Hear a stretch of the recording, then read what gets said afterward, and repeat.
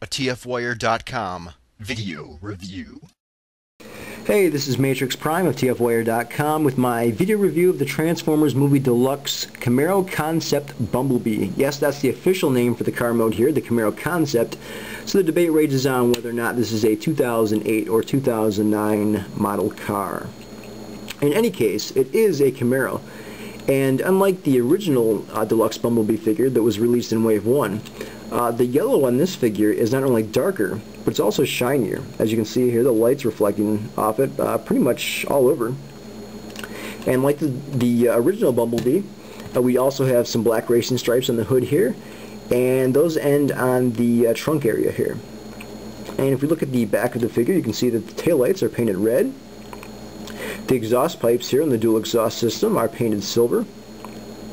And if we look at the side of the car here, you can see the, the rims are painted silver as well.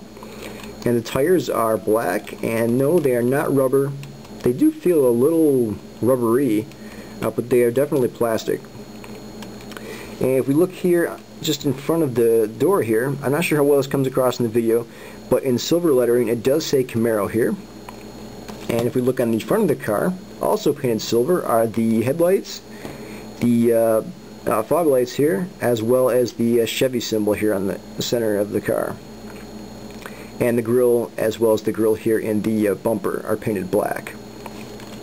Uh, now, one of the big gripes people had about the uh, Bumblebee from Wave 1 was that the, wind, the, the windshield and the windows themselves were painted blue, uh, rather than being translucent see-through, like in the version that the Japanese got.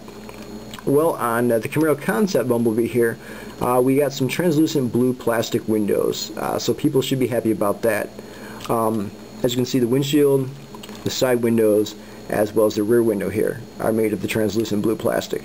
Now because they are translucent, you can see inside them. However, there is no interior detailing. Uh, there's no uh, dashboard, no steering wheel or anything. Uh, all you see are robot parts in there. So, But in any case, you can see through them. Now you can also open the doors up in this mode for a little bit of added realism. As you can see, we can open the doors up. Now if we look inside there, once again, all you're going to see are robot parts. Uh, but people should be happy that um, the doors do open.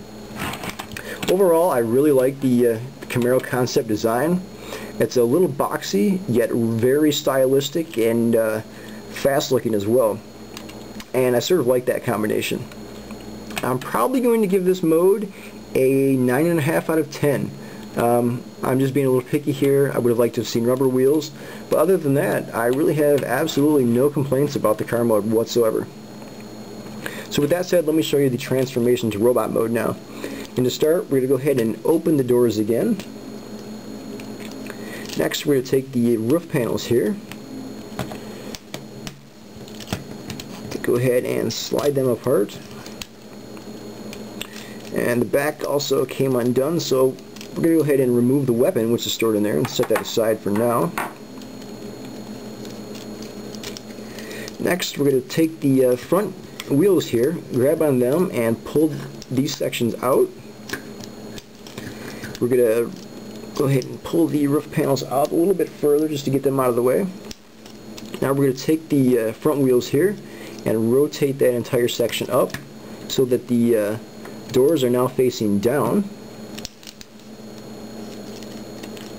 Go ahead and get these panels up out of, out of the way a little bit further. Now we're going to go ahead and take the windshield and fold that down.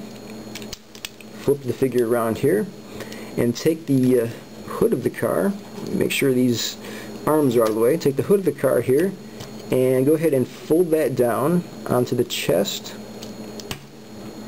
And, before we finish that, let's go ahead and push the arms as far back as they'll go. That allows the chest to fully come down. And it also rotates the shoulder the shoulders back a little bit, if you can see here. That's part of the uh, automorph. Alright, so now that the shoulders are as back as far as they go, we'll go ahead and flip the, the doors up here. We rotate the shoulders around to get the arms in place.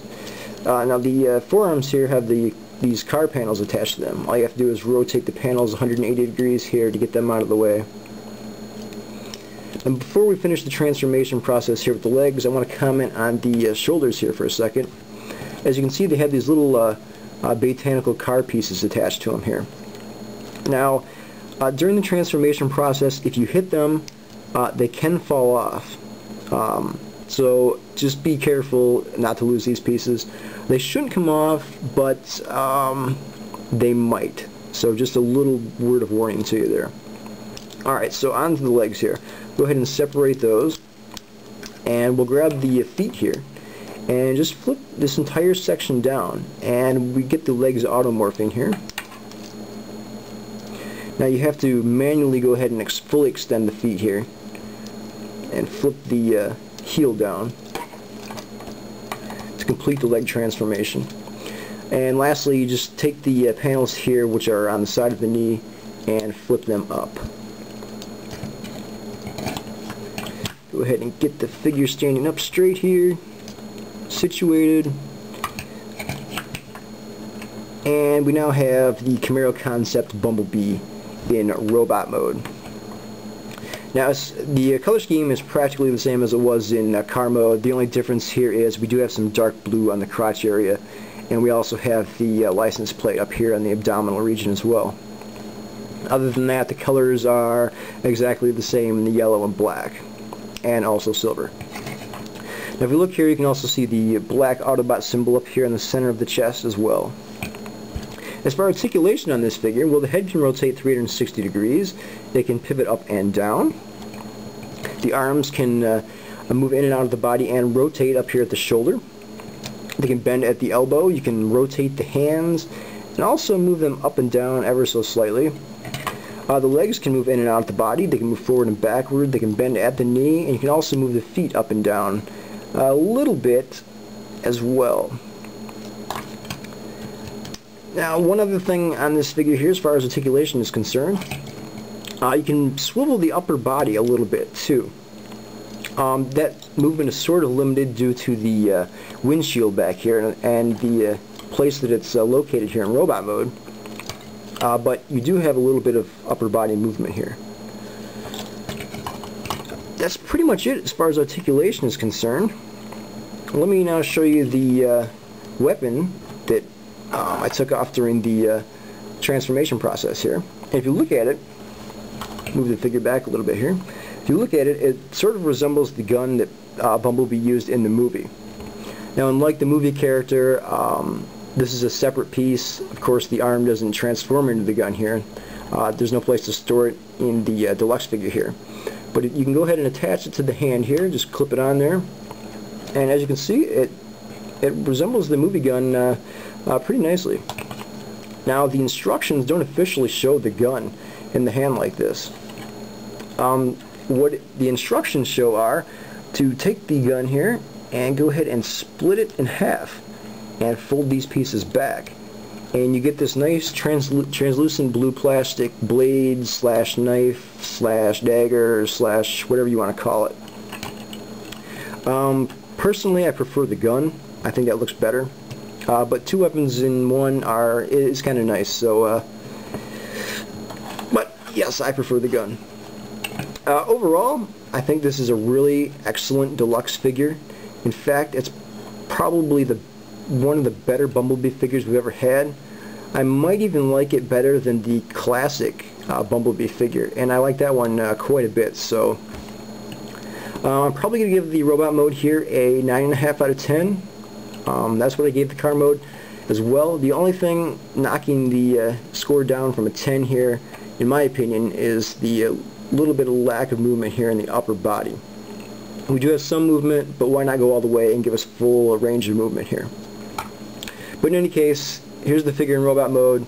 Again, car mode 9 out of 9.5 out of 10, robot mode 9 9.5 out of 10. Um, I just picked this figure up today. Um, apparently people are having a hard time finding it. It just came out as of uh, a week and a half ago. Um, so if you can't find it yet, be patient. Don't hit up eBay. Oh, and I did forget something here. On the chest, you can go ahead and manually flip up the sides of the chest here. Um, to sort of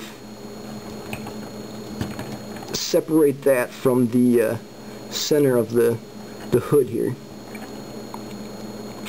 sort of give it that uh, automorph look. There we go. I know I'm going to get some comments that you transformed it wrong, so I thought I'd better show that as well. Uh, but yes, if you can find the figure, definitely pick it up. Um, if you have the choice between this one and the Wave 1 um, older Camaro, definitely go for the Camaro Concept Bumblebee. I highly recommend it.